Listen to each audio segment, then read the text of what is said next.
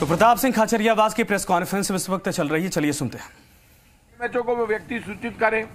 उसमें यहाँ मुख्यमंत्री के सामने ये भी डिस्कस आया कि सरकार के जो सीएचओ वगैरह, उनको यदि वहाँ बैठा सकते हो तो बैठा दिया जाए, लेकिन पब्लिक को परेशानी नहीं आए। और आज ये जो आंकड़ा आया सामने, उसमें पाँच करोड़ रुपए का इलाज लोगों ने फ्री ऑफ़ कॉस्ट अस्पतालों में लिया है। लगभग पाँच लाख लोगों ने मुख्यमंत्री चिरंजीवी बीमा योजना का लाभ उठाया है। राजस्थान पहला स्टेट है, जहाँ पर बच्चे फ्री में यात्रा करते हैं, एग्ज़ाम देने के लिए जाते हैं तो रोडवेज़ और बसों में, जहाँ पे हरिद्वार के लिए फ्री ऑफ़ कॉस्ट हम लेकर जाते हैं, जहाँ पर मुख्यमंत्री चिरंजीव योजना में प्राइवेट बसों अस्पतालों में इलाज फ्री में होता है। और ये जो सब योजनाएँ मुख्यमंत्री आप जानते हैं, हमारे यहाँ पे दवाई फ्री है, हमारे यहाँ पे मुख्यमंत्री निःशुल्क जाँच योजना है, और अब बड़ा प्रोग्राम हम, सूद के लिए युद्ध प्रोग्राम मुख्यमंत्री की अध्यक्षता में जो मीटिंग, उसमें यह भी तय किया गया कि सूद के लिए युद्ध अभियान पूरे दो साल तक लगातार चले। मिलावट खोरों के खिलाफ सख्त कार्रवाई हो और इसके लिए जो भी सख्त से सख्त कार्रवाई हम कर सकते हैं, वो करेंगे। लेकिन मिलावटखोरी बंद होनी चाहिए, इससे बड़ा पाप कुछ नहीं हो सकता। यदि कोई व्यक्ति मावे में मिलाता है, खाने की चीज़ों में मिला, मिलाता है, दाल में मिलाता है, जूस में मिलाता है, इससे बड़ा पाप कुछ हो सकता है क्या? इस पाप से कोई बच सकता है कि मेरी आवाज़ कोई मिलावटखोर सुन रहा है तो सावधान हो जाए। बड़ा सख्त डिसीज़न आपके खिलाफ सख्त एक्शन होगा। मिलावटखोरों को किसी कीमत पे नहीं छोड़ेंगे। लोगों की जान से खेलने नहीं देंगे किसी भी कीमत पर। मिलावटखोरी बर्दाश्त नहीं की जा सकती। एक आम आदमी जाता है, बिल्कुल इनोसेंट बनकर पैसे देता है, सामान खरीदता है। वो सामान यदि एक्सपायरी डेट का तो बाहर फेंको। मावा खराब है, समोसा खराब है, कचोरी खराब है खाने पीने की वस्तु खराब है, इसको लेकर खुद मुख्यमंत्री और पूरी कैबिनेट चिंतित थी और उसके लिए बड़ा अभियान चलाएँगे। निरोगी राजस्थान अभियान, आप जानते हैं, लगातार ये अभियान चले, वो अभियान चलेगा। राजस्थान की हमने सिल्कोसिस नीति बनाई, मुख्यमंत्री कन्यादाय कन्यादान योजना है, मुख्यमंत्री एकल नारी सम्मान पेंशन योजना है। ये सब योजनाएँ चल रही है, इनकी मॉनिटरिंग करना हर प्रभारी मंत्री की ज़िम्मेदारी है, मुख्यमंत्री वृद्धजन सम्मान योजना। ये हम इसमें पिछहत्तर वर्ष से कम आयु को सात सौ पचास रूपए देते हैं पिछहत्तर वर्ष से अधिक की आयु को रुपये एक हज़ार हम देते हैं महीने के। पचास पॉइंट अट्ठासी लाख वृद्धजन को। मतलब पचास लाख इक्यावन लाख लोगों को, जो बुज़ुर्ग हैं, उनको राजस्थान की सरकार हर महीने सात सौ पचास रुपये और जो पिछहत्तर वर्ष से ज़्यादा है, उनको एक हज़ार रुपए हम देते हैं। ये पहला स्टेट है राजस्थान। इक्यावन लाख लोगों को मतलब इक्यावन लाख परिवारों में तो पाँच से भी गुणा करो तो ढाई करोड़ लोगों के तो ये पहुँच रहे हैं, ढाई करोड़ जनसंख्या तक। मुख्यमंत्री विशेष योग्य जन सम्मान पेंशन योजना, इसमें भी हम लगभग छह लाख लोगों को पाँच पॉइंट बयासी लाख विशेष योग्य जन को एक हज़ार तीन सौ अड़तीस करोड़ रुपए की सहायता जारी है और तेरह हज़ार तीन सौ अस्सी करोड़ रुपए बुज़ुर्गों को जा रहे हैं। पालनहार योजना चली रही उसमें भी हम पाँच पॉइंट चौबीस लाख बच्चों के पालनहार का काम सरकार कर रही है उसमें एक हज़ार दो सौ सतहत्तर करोड़ रुपए की सहायता। मतलब हम छह वर्ष तक के जो बच्चे हैं, उनको पाँच सौ रुपये प्रति माह प्रति माह छह से अठारह आयु वर्ग के बच्चे हैं, उनको एक हज़ार रुपये प्रति माह और वस्त्र, स्वेटर, जूते आदि हेतु दो हज़ार रुपये वार्षिक अतिरिक्त एक मुश्त सहायता हम करते हैं। ये जो जितनी योजना है, राजस्थान कृषि प्रसंस्करण कृषि व्यवसाय, आज ये सारी डिस्कस होकर खुद मुख्यमंत्री जी ने फ्लैगशिप योजनाएँ भी मंत्रियों के सामने रखी और उनको ये बता दिया कि आप सब मंत्री नए बने वो, पुराने बने वो, तीन वर्ष में कोरोना संकट के दौरान हमने कोई कमी नहीं रखी। वहाँ ये बात आई कि कोरोना बढ़ रहा है। और उसमें ये तय किया सरकार ने कि किसी भी बच्चे को ऑफलाइन एग्ज़ाम देने के लिए कोई स्कूल मजबूर नहीं कर सकता। बच्चे के पेरेंट्स की स्वैच्छिक इच्छा भेजे तो ठीक, नहीं भेजे तो ठीक स्कूल। तो ऑनलाइन एग्ज़ाम जो बच्चा देने जाता है, वो भी देगा ऑफलाइन यदि कोई देना चाहता है, वो भी देगा।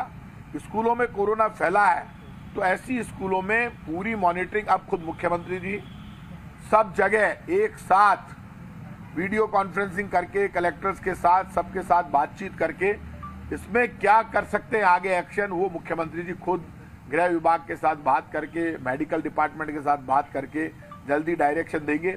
आज की जो मीटिंग हुई है उसमें लोगों में उत्साह उमंग था। बीस सूत्री कार्यक्रम 2006 के बीस सूत्र हैं। गरीबी हटाओ। जनशक्ति, किसान मित्र, श्रमिक कल्याण, खाद्य सुरक्षा, सबके लिए आवास शुद्ध पेयजल जन जन का स्वास्थ्य, सबके लिए शिक्षा।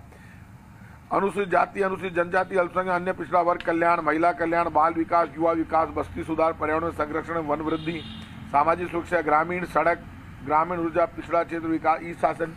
प्रशासन गाँवों के संग और शहरों के संग अभियान में जो अधिकारी मेरी आवाज़ सुन रहे हो, समझ ले कि जो अधिकारी, कर्मचारी इस प्रशासन गाँवों के संग और शहरों के संग अभियान में जो राजस्थान की सरकार ने रिलैक्सेशन दे दिया पब्लिक को, ये अभियान रुकने वाला नहीं है। पाँच पट्टे बांट दिए, बाकी पट्टों में कोई बंदरबाट करना चाहिए, चलेगी नहीं, वैसे अधिकारियों के खिलाफ सख्त कार्रवाई होगी। कोई अधिकारी बचेगा नहीं। इसलिए ये तय बात है कि चाहे कुछ भी हो जाए ये इस तरह के जो भी प्रोग्राम हैं, उन प्रोग्राम्स में सबका काम करना सरकार के नियम, कायदे, कानून के तहत जो छूट मिली है, वो छूट लोगों तक पहुंचाना, ये अधिकारियों की, कर्मचारियों की ज़िम्मेदारी है। आज की जो मीटिंग थी, वो सब मंत्रियों के आपस में बातचीत हुई, सबके सुझाव लिए सबने अपनी अपनी बात कही प्रशासन गाँव के संग, शहरों के संग अभियान में क्या कर सकते हैं? मुख्यमंत्री चिरंजीव योजना, बीमा योजना में और अच्छा क्या कर सकते हैं? सबने अपने अपने सुझाव दिए। कोरोना संकट को लेकर भी सुझाव आया। ये भी सुझाव आए कि साथ शादियों में भीड़ इकट्ठी हो रही है। उस पर भी मुख्यमंत्री जी मॉनिटरिंग करेंगे। तो ज़्यादा से ज़्यादा कोरोना से कैसे बचाव कर सकते हैं? मैं सब लोगों से अपील करूँगा, मास्क लगाएँ, भीड़ में कम जाएँ। क्योंकि बहुत ज़्यादा तादाद में कोरोना बढ़ रहा है। बारह बच्चे एक स्कूल के पॉजिटिव आ गए। हालाँकि सरकारी स्कूलों का कोई आंकड़ा अभी आया नहीं है। सावधान रहेंगे तो अपना बचाव कर पाएँगे। बड़ी बात एक सामने आई मुख्यमंत्री जी के सामने के, ये जो वैक्सीनेशन प्रोग्राम है, हमारा नेशनल एवरेज के बराबर है, हम कम नहीं है नेशनल एवरेज। तो वैक्सीनेशन प्रोग्राम में जो लोग मेरी आवाज़ सुन रहे हैं, जिन्होंने एक वैक्सीन लगवाई है, और दूसरी नहीं लगवाई तो भैया दूसरी लगाओ, हर डिस्पेंसरी पे लग रही है। कहीं कोई प्रॉब्लम हो तो बताओ। घर घर जाकर लगा रहे हैं तो अब घर पे आके लगाए, उससे अच्छा आप खुद जाके लगवाओ। यदि कोई वैक्सीन नहीं लगवा रहा है, पहली लगवा रही, दूसरी नहीं लगवा रहा है, वो भी पाप कर रहा है। यदि किसी ने एक भी नहीं लगाई तो और बड़ा पाप कर रहा है। भैया वैक्सीन दुनिया ने लगा ली, आप कोई नहीं मरोगे। ना कोई मरने वाला है वैक्सीन से फ़ायदा होता है। वैक्सीन से मरोगे नहीं, बचोगे। और वैक्सीन नहीं लगाओगे तो खुद मरोगे, दूसरों को मारोगे। ये सावधान हो जाओ भाई वैक्सीन लगाओ, जो लोग मेरी आवाज़ सुन रहे हैं। खुद मुख्यमंत्री चिंतित है, बहुत बूस्टर डोज की बात मुख्यमंत्री करने लगे हैं गहलोत साहब। अब बूस्टर डोज तो छोड़ो, आप तो दूसरी वैक्सीन ही नहीं लगवा रहे लोग। तो कोई पकड़ पकड़ के लगाएगी क्या सरकार? आपको खुद की ज़िम्मेदारी आप सेकेंड वैक्सीन लगवाएँ। राजस्थान का वैक्सीन का आंकड़ा बहुत अच्छा है। घर घर हम लोगों को भेज रहे हैं, इसकी भी मॉनिटरिंग करके सारा काम करेंगे। आज की मीटिंग बहुत अच्छे वातावरण में हुई। सबका जोश, उमंग, उत्साह देखने लायक है। राजस्थान की सरकार जनता के साथ खड़ी है, जनता के दरवाजे पर खड़ी है। हमारे सबके दरवाजे सबके लिए खुले हैं सबका काम करना सबका सम्मान करना हर व्यक्ति की समस्या का समाधान करना हर व्यक्ति की मदद करना लोगों के बीच में रहकर जनसेवक बनकर हाथ जोड़कर काम करना ये हमारी सरकार का टारगेट है उस टारगेट पर हम काम करेंगे।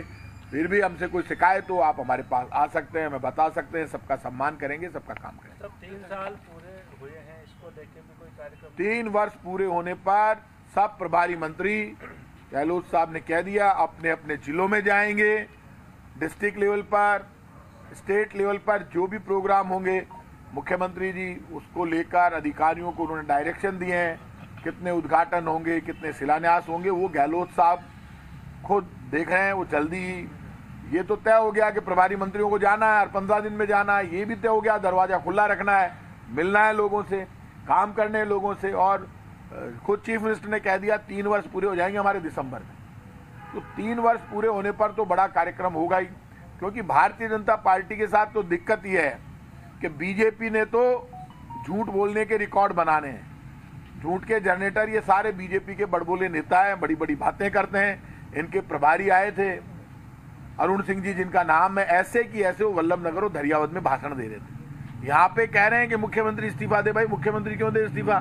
इस्तीफा तो प्रधानमंत्री जी को देना चाहिए। किसानों को आपने मारा कुचल कर मार दिया, किसान बिल अब आप वापस ले रहे हो। तो आपने काला मुँह करके पूरी बीजेपी ने किसानों को आतंकवादी, खालिस्तानी, ये देश विरोधी है, सब कह दिया, बेचारे लाल किले में चले गए, कहाँ जाती भीड़? कहीं खाली मिलेगी जगह, वहीं जाएँगे। और उनके पीछे पड़ गए। अब वापस आपने विड्रॉ ही करने थे, ये बिल तो पहले ही दिन कर लेते। तो काला मुँह तो आपने करा है। तो इस्तीफा तो प्रधानमंत्री को देना चाहिए, मुख्यमंत्री को देंगे। आप उल्टे काम करते हो। पेट्रोल, डीजल आपने महँगा किया। आपको पता है 2014 में मनमोहन सिंह जी के टाइम पे तो मंत्रिपरिषद की बैठक के बाद प्रताप सिंह खाचरियावास की एपीसी आप सुन रहे थे कि आप कुछ बैठक में उन्होंने बताया। फ़िलहाल